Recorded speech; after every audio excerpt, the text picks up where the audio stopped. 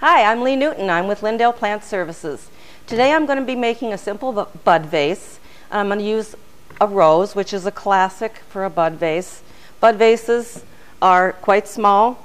They are meant to contain one beautiful flower and maybe a little bit of greenery around it. I'm going to be showing you some tools that I use. This is your floral knife. It's quite sharp. It makes a very clean cut, which is very necessary because you want the stem to remain intact. This is a floral snip. Fits in your hand nicely. It's excellent for cutting off the foliage. These are a pair of Fiskars veggie and herb shears. Um, again, they're very good for cutting stems. They don't harm the, the stem or crush it.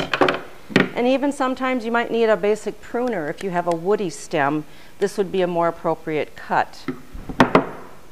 Now where you purchase your flowers are important as well because you get what you pay for. Once these flowers are cut from the shrub, that chain of delivery at that point, everybody has to be really on top of keeping these alive because if you buy from a disreputable source, you might not be very happy with the quality. So always check where you're buying your flowers. Um, roses are subject to a condition called bent neck. If they're cut incorrectly, air can go up into the stem itself. It's called an air embolism. And what that can do is it blocks the hydration. This falls over. It's totally intact. It just looks sad. It's called bent neck. Gerbera daisies and mums are also prone to this as well.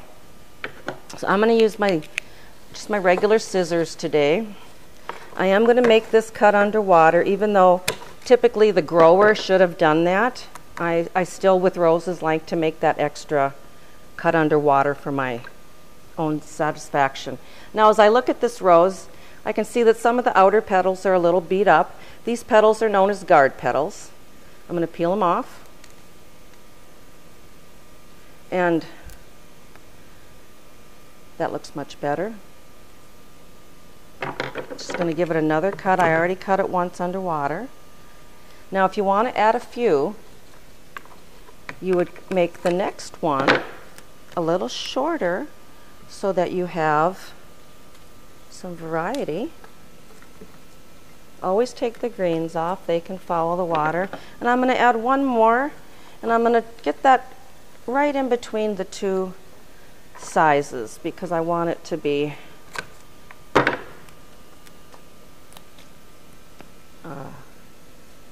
oh, here we go, more guard petals coming off. Oh, well, that's floral for you. Sometimes you make more cuts to get to where you need to be. Now, I have three various heights here. I would rather have a green in here. I don't have the normal type greens that usually come with roses. And I have some other little greens in here that I can use instead. Just to add some color, I've got a neon pothos. Or I could use some ivy. Ivy would be nice as well to add a little bit of interest to that. Now these also need a floral preservative added to them to help their longevity. They come in many different packets. They're basically all the same.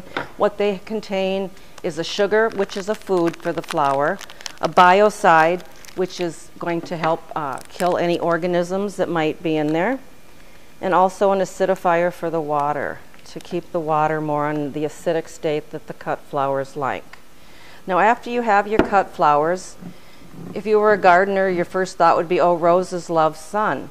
But you do not put flowers, cut flowers in sunny locations. They much prefer a cool, uh, less lit location, and that helps them stay nice longer.